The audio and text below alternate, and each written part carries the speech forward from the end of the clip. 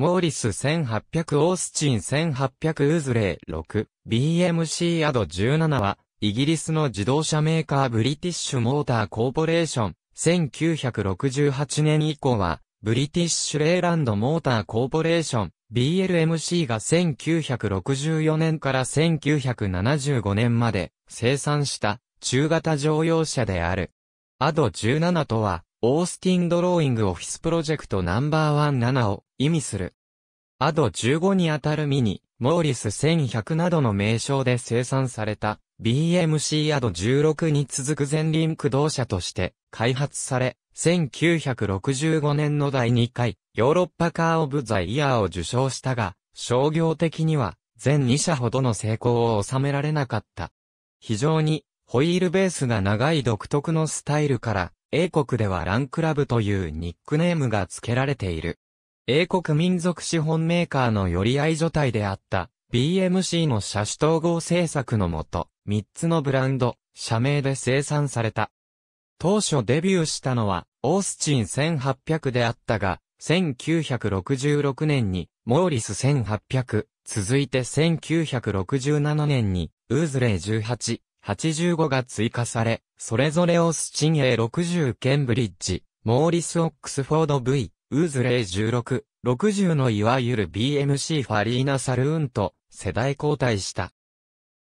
設計は、 ADO15 ADO16と同じく、サーアレック・イシゴニス、サーアレック・イシャイガニスで、ボディデザインは、 ADO16を手掛けた、イタリアの名門カロッツェリア、ピニンファリーナの作品である。4170mm の全長に対して 2690mm という異例に長いホイールベース、本革シートや木目、クロームパーツが多用された上質な6ライトのルーミーなキャビン、 ADO15、16同様にバスのように寝かされたステアリングホイール、 ADO16と共通のオイルを用いた前後関連式、ハイドロラスティックサスペンション、バルブによって急制動時のブレーキ圧を前後に自動配分してタイヤのロックを防ぐ。原始的なアンチロックブレーキの試みなど多くの新しい試みが盛り込まれていた。エンジンは MGB などと共通の BMC B タイプ 1798cc80 馬力であったが、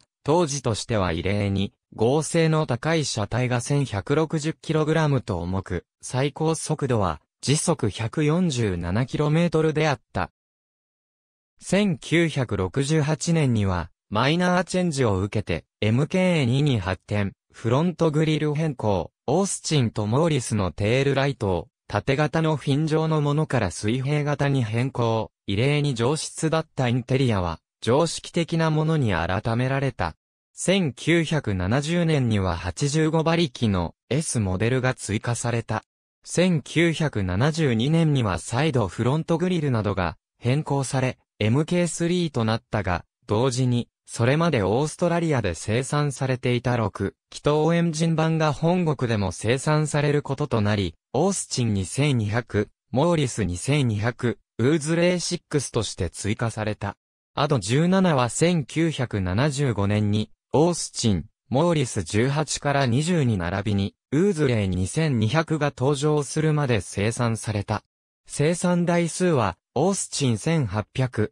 2200が約221。